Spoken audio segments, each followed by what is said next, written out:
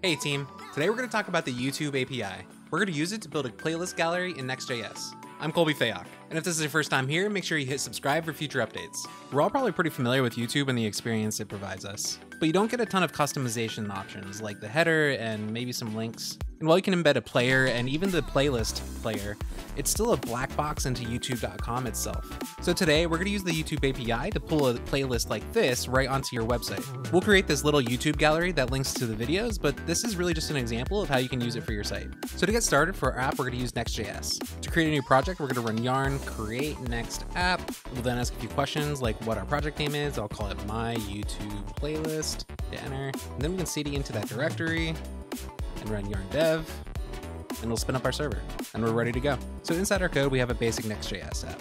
We're gonna use the get server side props function. So we're gonna run export async function, get server side props, and this is where we're gonna return our data. We're gonna return a props property. That way we can add our data and make it available to our home function, but we need to fetch that data first. So for this part, we're gonna use the YouTube API. Particularly, we're going to use the playlist items list API. We're here, we're going to make a request to this playlist items endpoint along with any of the required parameters we need, like the part, which we're going to use the snippet, and the ID and the playlist ID.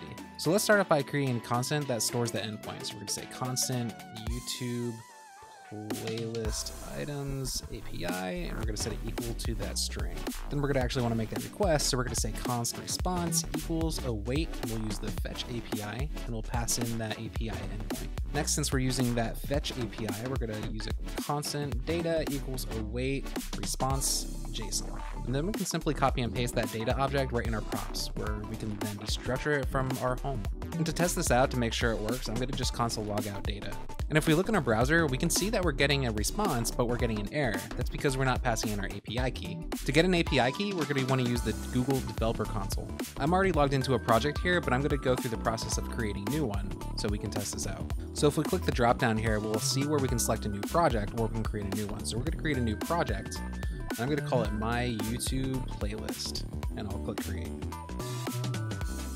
and it'll start kicking off the create process. And after it's done creating, it's not going to reselect it for you. So you want to go back up to this dropdown and you want to select your new project.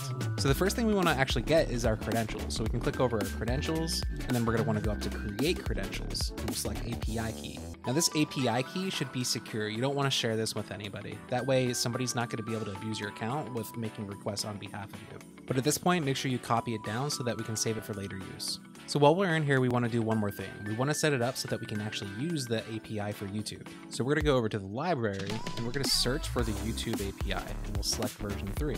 And at this point, you can just hit enable. And once the page reloads, you'll get a dashboard that'll show all your activity for that particular API. So now that we have our API key, we want to actually use it. Since it's secure, we want to make sure that we use it in a way that's not going to leak out. So let's create an environment file where at the root of our project, let's create an env.local file where we can create a new environment variable called YouTube API key.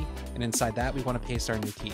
Since we're using Next.js, they already know to look in env.local for anything we want to use for our local app. So at this point, we want to tack our API key onto the end of this endpoint. So first, let's make this a template tag, and I'll make this a variable inside of it. Then we can say question mark key equals another variable process.env.youtube API key. And at this point, since we added a new environment variable, make sure you restart your server. But if we open up back up our browser, we're still seeing an error, but now it's saying no filter selected. So that means our API key is working, we're just not using the endpoint right.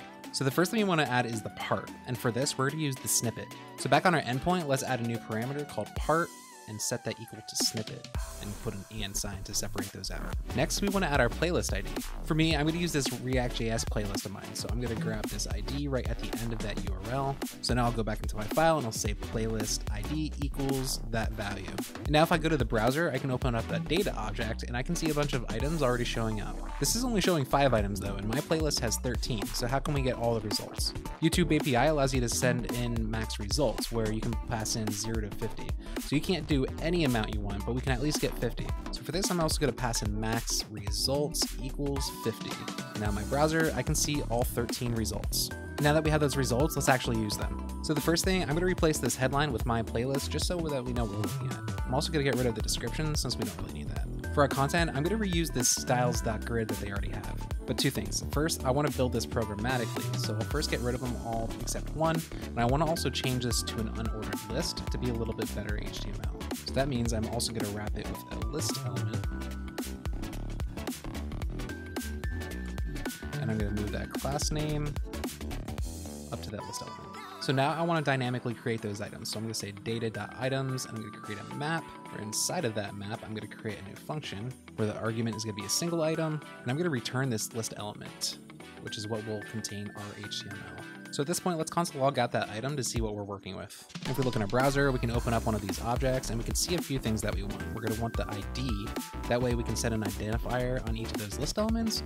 We're also gonna want a thumbnail and we're gonna want that title. So to get started, let's first destructure that ID from the item. That way we can set a key on our list element. We also wanna destructure our snippet, which will set to an empty object by default. Then we can destructure our title from that snippet. And then we can place the H3 content with that title, and we can also get rid of this paragraph tag since we don't need it. If we look at the browser, we can already see all of our titles.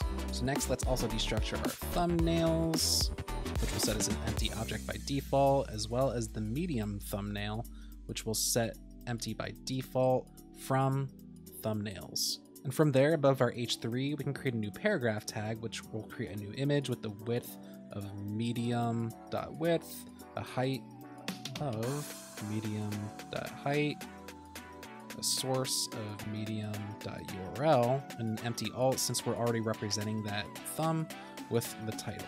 And now if we look back, we can see all of our videos with our thumbnails. But the only difference is if you look at the link and hover over, it's not actually the right link yet. So inside of these items in the snippet, we can also grab the resource ID, which gives the video ID. So that way we can dynamically create that link.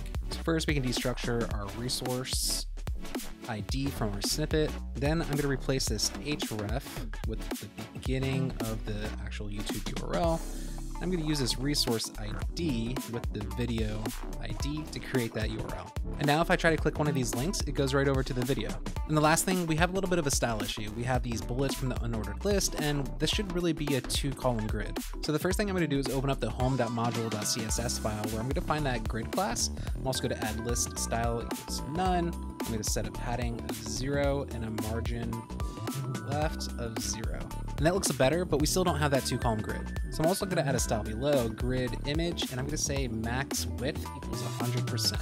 And while the items aren't necessarily filling up all the space, we can see that we now have our two columns. To at least try to make it so that the items all align to the top, we can change align items to flex start. Now all of them aren't the same height, but at least they're all aligning to the top, so it looks a little bit more consistent. And from here, if you want to deploy the app, you can simply use the Vercel CLI to do that. If you already have an account with Vercel and you're logged in, running Vercel will deploy that application for you. Since it's Next.js, it'll already know how to configure everything. The only thing you want to make sure you remember to do is add an environment variable for your YouTube API key. So if you followed along with me, you learned how to use the YouTube API to fetch items from a playlist. We generated an API key and we used that to make a request to the playlist items endpoint. While you can request items from a playlist, the YouTube API has a ton of features like analytics and other video features that you can use. If you like this video, make sure you hit thumbs up and subscribe for future updates. Thanks for watching.